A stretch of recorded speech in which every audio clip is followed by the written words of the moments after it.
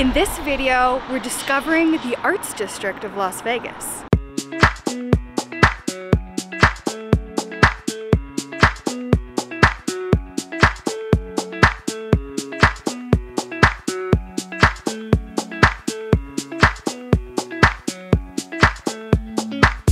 The Arts District is a neighborhood located between the north end of the Las Vegas Strip and Fremont Street in the downtown area.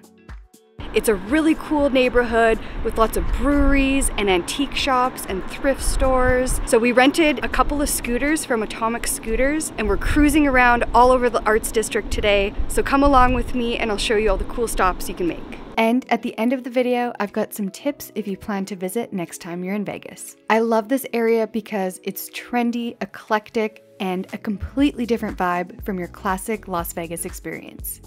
You'll see signs all over that read 18B. This is after the number of blocks that first comprised the Arts District. Starting with one of the main draws of the Arts District is the amount and variety of unique stores, boutique and vintage shops, antique malls and markets, thrift stores, and more. Even if you're not looking for anything in particular, it's a nice change of pace to walk around and browse all the quirky shops and look for treasures, or maybe even hunt for lost pieces of Vegas history. This is also where you'll find Coolsville Tattoo, home of the famous $10 tattoos in Las Vegas. I was too chicken to go and get one, but maybe if I get like 100,000 views on this video, I'll go get a tattoo and you guys can vote on which one I get. And I'll make a video about it. Comment on this video if you like this idea. One of the best places to find murals in Las Vegas is in the Arts District. Street art, sculptures, and murals have become somewhat synonymous with this part of Vegas. You could spend all day walking up and down each of the 18 blocks and never run out of finding new murals. We can thank the Life is Beautiful Music and Arts Festival that started in 2013, which has been transforming downtown into a visual feast ever since. After mural hopping, we move on to a different type of hops. The Arts District is perhaps most well known for the extensive number of craft breweries along Brewery Row. Each put their own spin on high quality craft brews. There's something for every palate. If you can't visit them all, here are a few of my favorites. First, we have Cerveza. What I love about this place is that many of the beers have a Mexican influence. I highly recommend trying the Michelada Flight. Each beer sampler is made into a michelada and includes fruit lagers like mango, pineapple, guava, as well as the regular Mexican lager. Able Baker is one of the most popular ones, and a great starting point since it's at the south end of the district. The theme of this brewery pays homage to the atomic testing history in Nevada and offers over 30 beers on tap. The ambience and atmosphere is casual and inviting, and the tap room feels like an outdoor patio brought inside. And then we have Neon Desert. What's not to love about a tap room decorated in bright green and pink hues?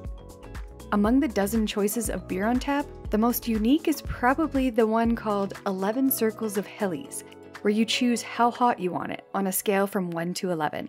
This beer has a mix of ghost, serrano, and habanero peppers. I chose to do a 6 out of 11 on the hot scale, and it was pretty spicy. I think an 8 or a 9 would be wild, let alone 10 or 11. But definitely try it for yourself.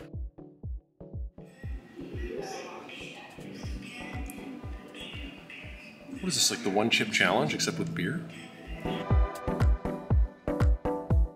So we're at Luv-It Frozen Custard, and this place is a Las Vegas staple. It's been here for decades. It's a walk-up window, and look how many flavors of frozen custard they have. I asked for the most popular flavor that they serve here, and that's the Western Special. This includes hot caramel, hot fudge, salted pecans, and a maraschino cherry. When it's hot out and you're craving something cold, definitely try this classic Las Vegas treat. But you do have to eat it pretty fast. Inside a converted warehouse, you'll find the Arts Factory, a creative hub which houses over 30 small galleries and artist studios, and features rotating exhibitions from local and international artists. It's free to walk around the labyrinth like hallways and browse all the art, shop for jewelry, and more.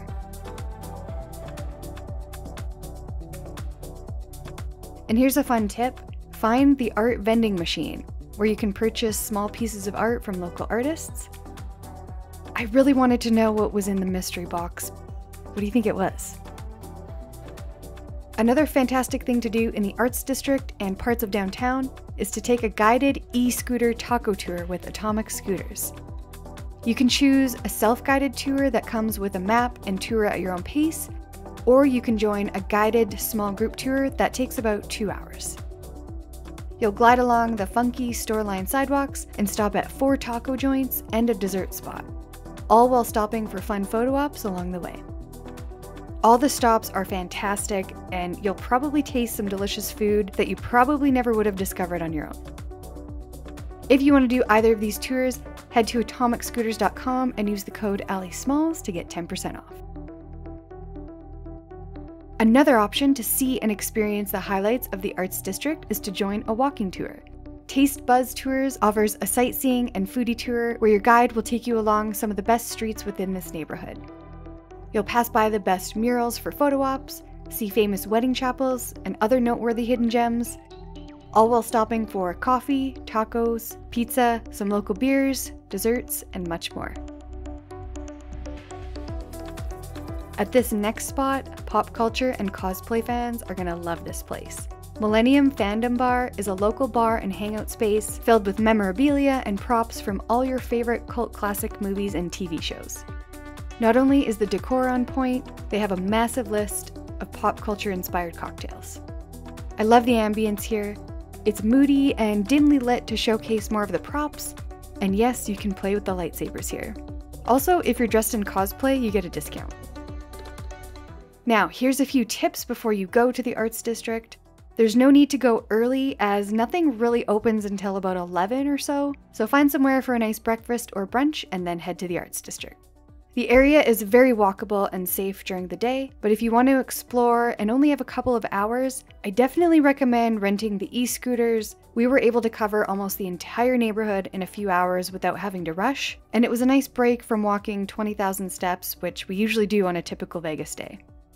And to get to the Arts District, you can take a rideshare like Uber or Lyft, and it should cost you anywhere from 8 to $12 if you're coming from the strip. This should also give you an idea of how much it should cost if you take a taxi. Or you can take the downtown loop from the Strat Hotel. This is a free shuttle that runs during the day. And as much as I love this neighborhood, if it is your first time to Vegas, you could probably skip it unless you're here for five or six days. But it's a great place if you've been to Vegas a few times and you want to check out some new areas. I hope you enjoyed the video. I'll see you in the next one.